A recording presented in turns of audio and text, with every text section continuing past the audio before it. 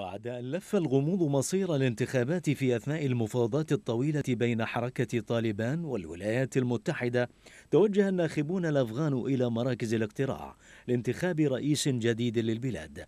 في انتخابات كان إلغاؤها قاب قوسين أو أدنى إذا توصل الطرفان إلى اتفاق.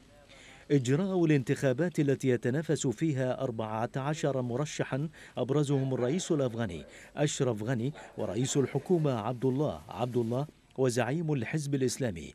قلب الدين حكمة يار جاء بعد إعلان الرئيس الأمريكي دونالد ترامب إلغاء الحوار مع طالبان بذريعة قتل جندي من قوات بلاده بهجوم نفذته الحركة في العاصمة كابول.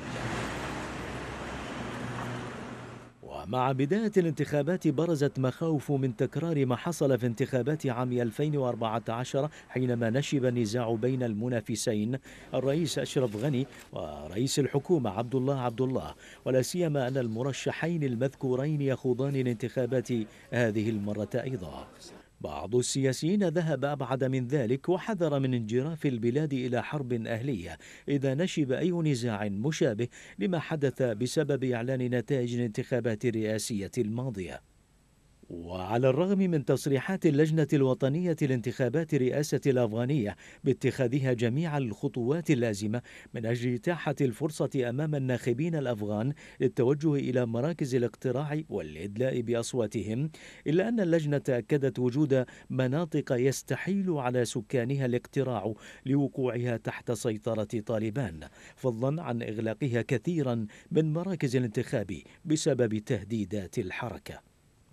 وبحسب اللجنة فإن عدد مراكز الاقتراع التي أغلقت مع انتهاء الحملة الانتخابية للمرشحين قد ازداد ليبلغ 445 مركزا في عموم البلاد من أصل 5373 في حين رجحت اللجنة ازدياد عدد المراكز المهددة بالإغلاق بسبب التهديدات الأمنية.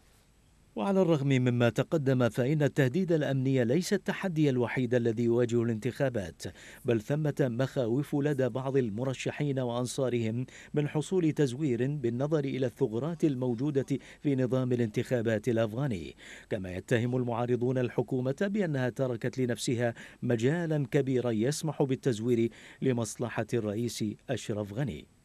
ويعتقد معارضو إجراء الانتخابات وعلى رأسهم الرئيس الأفغاني السابق حامد كرزاي أن إجراء الانتخابات سيقضي على آمال الشعب باستئناف الحوار مع حركة طالبان مجددا